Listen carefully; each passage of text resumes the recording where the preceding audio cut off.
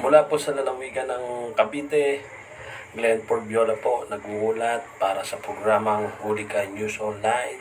Andito po tayo ngayon sa bayan ng Naay, Cavite upang ma, ma, mailathala ko po sa inyo ang uh, dumulog po sa ating uh, uh, kababayan dito sa subdivision ng Pasinaya North, Naay, Cavite eh yung pong kanyang kapatid ay nawawala.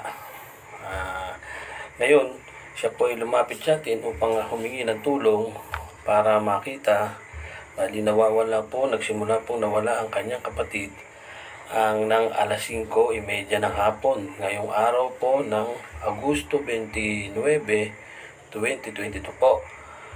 Kaya po, kasalukuyan po sila po ay naghahanap sa kanilang kapatid na nawawala na ang pangalan po ay si Joseph C. Hernale, 32 old, Block 34, Lot 39, Pasinay Homes North. Contact number 0925-879-8807. Ito po ang kanyang pa pakikilanlan. Ha? Yan po. Yan po natin. Baka po may makapansin po sa inyo, siya po ay medyo may mayroon po siyang problema sa pag-iisip. Kaya hindi po alam kung saan pupunta. At sila po ay bago lang dito sa Pasinayan North. Kaya paki reverse po, pakitingnan po kung ang kanyang uh, tsura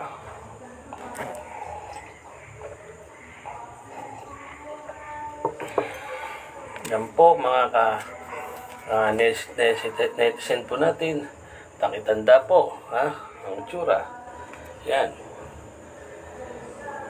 Siya po ay tumuhumingi po ng tulong sa atin ng kanyang mga kapatid upang siya ay mahanap.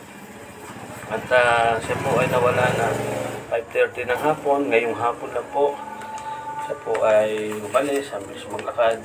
Ang problema po kasi sa kanya, eh, meron pong problema sa pag-iisip. Kaya hindi po alam kung saan ang pupuntahan at isa po bago lang po sila dito sa Naikabiti po. Kaya sa mga kababayan po natin dyan, mga kaibigan po natin sa Facebook, pakishare na lang po, pakipasa po natin. At uh, lagi po magsusubaybay ang Hulika News Online. Uh, ang um, kailangan po lang ay kung makikita nyo po, uh, paki-PM lang po ang Hulika News Online or aking Facebook account. PM nyo po ako para sa pagpunta po at pag uh, uh, kung makikita nyo Ha? O makita nyo yung number na nilagay ko dyan. Sinabi ko, ulitin ko po yung number. Contact number 0925-879-8807. Sana po ay magtulungan po tayo para sa kanyang uh, pagkakakita na madali. At uh, mahirap po kasi sa kanya na mayroong may problema sa isip at uh, lalo na po umulan, baka siya po ay basang-basa ngayon, hindi natin masabi kung nasan siya kaya sa lukuyan po mga kamag-anak niya ay nandiyan po ngayon, nag-iikot sa buong naik. Sobrang bilis po kasi maglakad. Kaya tutulungan po tayo. At sa mga motorista po natin dyan, mga kababayan, ingat po tayo, madulas ang ating kalsada. Dahil umulan na naman po, akala po natin ay hindi na uulan dahil maghapon pong mainit ang panahon. Ngayon po naman ay bigla-bigla pong umulan. Kaya mag-ingat po lahat ng motorista, lalo-lalo na po ang mga nakamotor. Kape po tayo.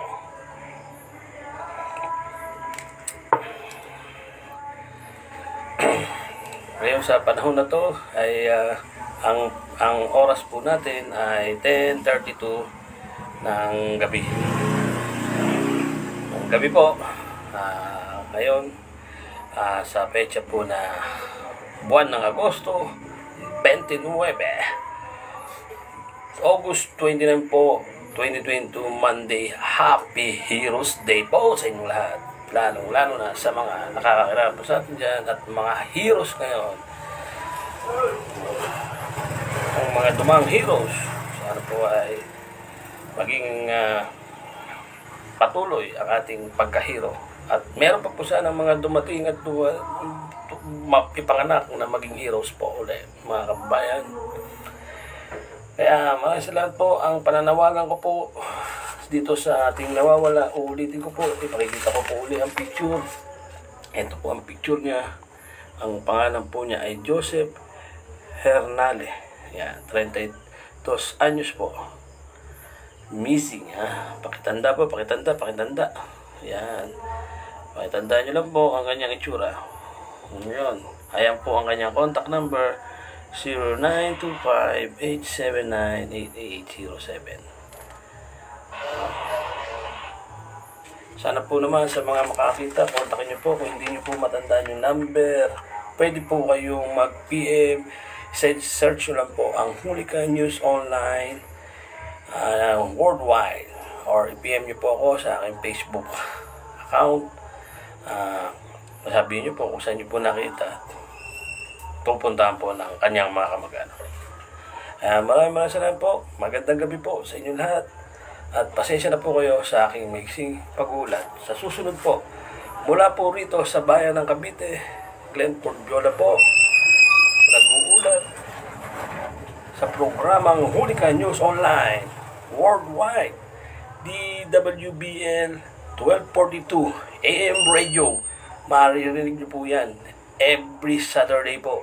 Makinig po kayo ng uh, ating programang DWBL ng Hulika News Online. Ang live naman po sa Facebook. Ang Facebook account Hulika News Online every Monday to Saturday po ang live po natin everyday. Ang host po natin doon ay si Boss Jojo Sibial po. Maraming salamat po. Magandang gabi po sa inyong lahat.